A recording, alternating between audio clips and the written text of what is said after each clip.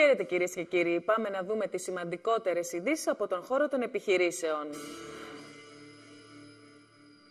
Η Metric Trade παρουσιάζει την ολοκένουργια πλατφόρμα της στη διεθνή έκθεση The Traders Expo New York που ολοκληρώνεται στις 23 Φεβρουαρίου. Οι επισκέπτες έχουν τη δυνατότητα να δοκιμάσουν την ολοκένουργια πλατφόρμα και να ενημερωθούν για τα χαρακτηριστικά της.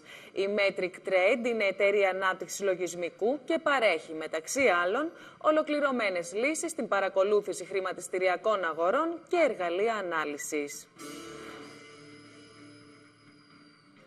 Για δεύτερη χρονιά συνεχίζεται η ενέργεια χαμόγελα δροσιάς από τη Φριγκογκλάς.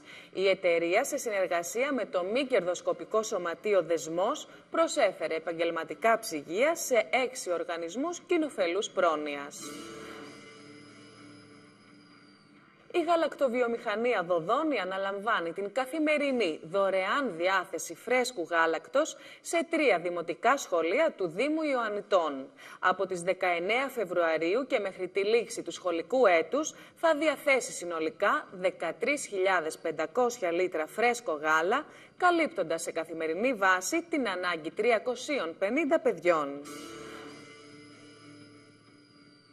Σε κοινοπραξία η οποία ανέλαβε έργο της Κομισιόν συμμετέχει η Drasoft International υπογράφοντας πενταετή σύμβαση εργασίας.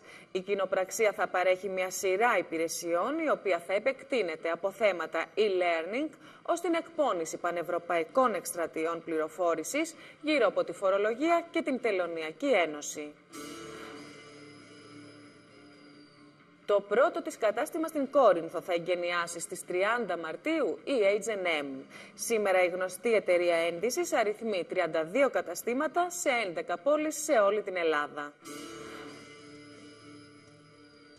Κυρίες και κύριοι, παρακολουθήσατε ένα ακόμη Business News.